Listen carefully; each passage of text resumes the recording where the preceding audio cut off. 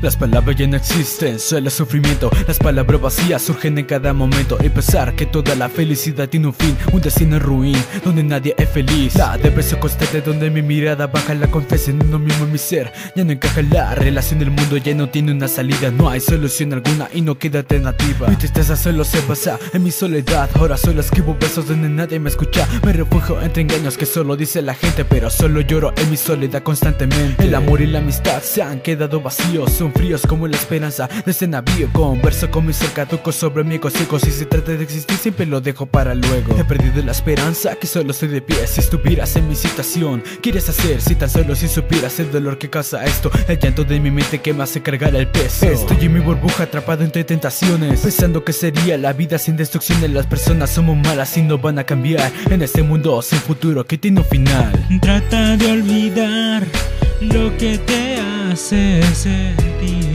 mal. Enfócate solo en la felicidad,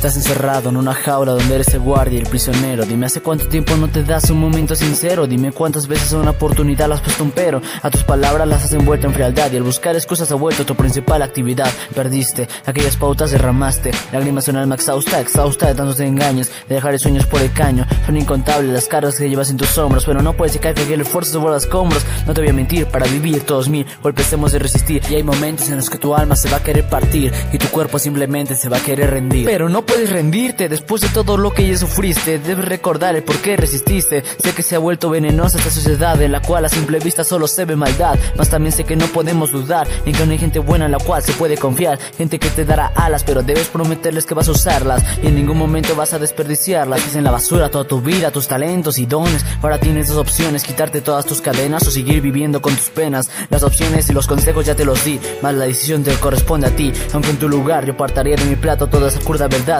y me esforzaría en buscar las aguas mágicas y tranquilas que aún quedan en este mar.